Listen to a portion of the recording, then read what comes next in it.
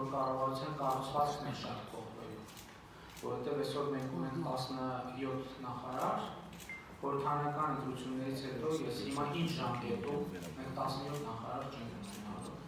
Մենք ունենալու ենք շատ ավելի փոքր թվով նախարարներ եւ այս հանգամանքի բերումով բնականաբար եթե օրինակ ելնենք այն կանխավարկածից, որ նախարարությունների թիվը կարող է կրճատվել 5-ով, դա արդեն հսկայական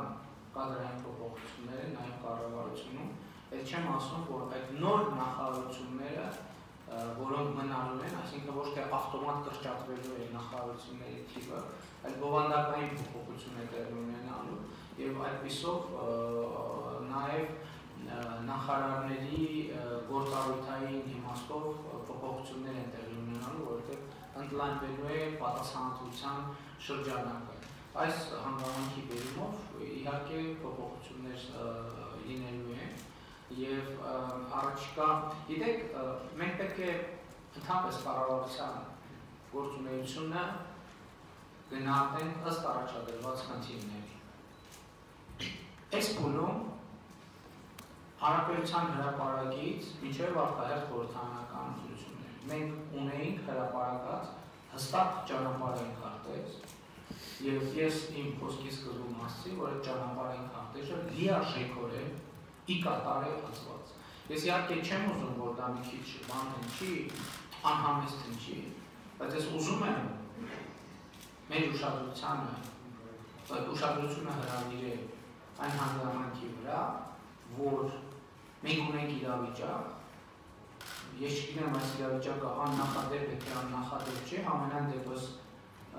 շատ տեսանելի անցյալի կտրվածքով աննախադեպ է, երբ որ քաղաքական ուժը, քաղաքական թիմը կամ քաղաքական գործիչը լիարժեք 100%-ով, ոչ թե 95, ոչ թե 60, ոչ թե 70, այլ 100%-ով կատարում է հանրության առաջ, ժողովրդի առաջ ստանձնած բոլոր պարտավորությունները։ Եվ եթե այս առումով ենք նայում գնահատում կառավարության աշխատանքը, իհարկե կառավարությունը 100%-ով իրականացրել է այն խնդիրը, որը պետք է լուծեր։ Որովհետև այս ընթացքում նաև զուգահեռ զուգահեռ բաներ կա, որոնք չեն արձանագրվել որպես պարտավորություն, բայց էֆեկտիվության խնդիր կա, չէ՞։ Որտեղ նաև պարզ բան եմ ասում, երկրում քաղաքական եւ տնտեսական կայունության ապահովում։ Դա հեղափոխական շրջան, դա խնդիրը դա խնդիր չի։ Իսկ դուք եկեք ուսումնասիրենք ցանկացած այս ընթացքում տեղի ունեցած քաղաքացիական կամ ոչ քաղաքացիական հեղափոխության փորձ։ Դուք կարող եք գտնել նախադեպ, երբ որ երկրում հեղափոխությունից հետո 6 ամիս ոչ միայն մենք ունենք այսպիսի կայունություն, մակրոտնտեսական, ինչպես ընդունված է ասել, եւ քաղաքական կանոնություն, եւ հանրային կանոնություն, ինչպես մենք ունենք Հայաստանի Հանրապետություն։ Ներքին եւ արտաքին միջավայր։ Այսինքն դրանք խնդիրներ են, չէ՞, այսինքն երբ երբ որ դա կա, երբ որ այդ կանոնությունը կա, ոչ ոչ որ դա չի նկատում եւ դա չի չի ընկալվում, չի ընկալվում որպես հարց, որը լուծվել է, եւ որ դա չի լինում, նորեն ժամանակ ասում են, այ տեսեք չկարողացան, չկարողացան կայունությունը պաշտպանել։ Եկեք հիմա գնանք մայիսի մայիս եւ բացենք մամուլը։ Բացենք մամուլը եւ տեսնենք թե ինչ կանխատեսումներ են այն ժամանակահատվածում, թե ինչա լինելու հիմա։ Ինչա ինչեր են լինելու հիմա։ Որ էս այ մեկը եկավ, այն մեկը աչից, մյուսը ցախից, մյուսը կողքից եւ վերջ ամեն ինչ առաջկա կիրակի օրը կվերջանա։ Եկեք նայենք, բացենք մամուլը, թե եւ տեսնենք թե ինչ կանխատեսումներ էին արվում այն ժամանակ, երբ որ ասում ես ասում եմ, որ մենք ասում ենք, որ արտահայտ ընտրությունները ես հրաժարական եմ տալու եւ արտահայտ լինելու։ Եկեք բացենք, տեսնենք թե ինչ կանխատեսումներ էին արվում, թե ինչ է լինելու։ Եվ եկեք եկեք նայենք, տեսնենք թե հեղափոխությունից հետո է միջավայր։ Հանրության լավատեսական տրամադրությունների ֆոնին եղել է փորձագիտական մի ահրելի, ահրելի հորետեսություն, որ հիմա ամեն ինչ, ամեն ինչ քանդուխար լինում, վերջ ավարտվեց եւ այլն։ Այսինքն մենք ինչ սա ով է այս ամեն ինչը ապահովում։ այս ամեն ինչը ապահովել է հանրությունը իր ձևավորած կառավարության միջոցով։ Եվ հետևաբար կառավարության գործունեությունը այս առումով համարում եմ շատ արդյունավետ, որովհետև կառավարությունը ունեցել է խնդիր լուծելու եւ եւ լուծել է այդ խնդիրը։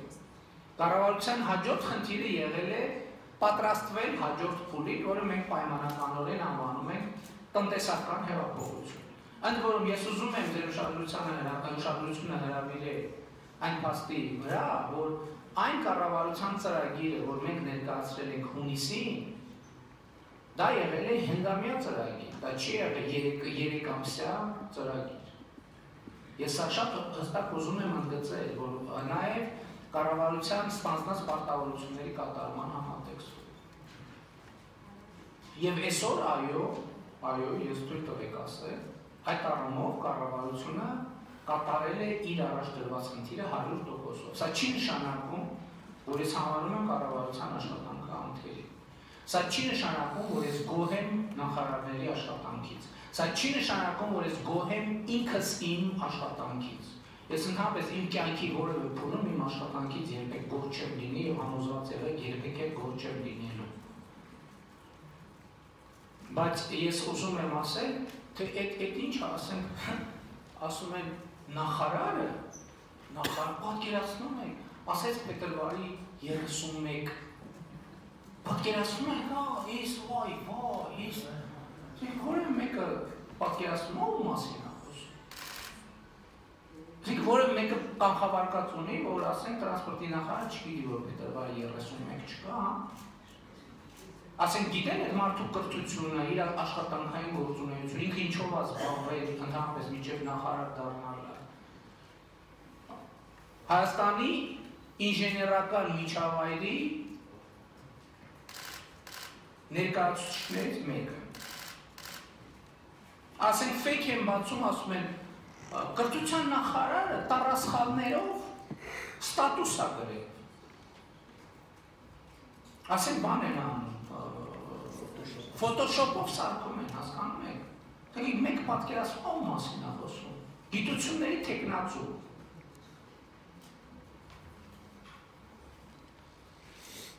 Եվ էլի տենց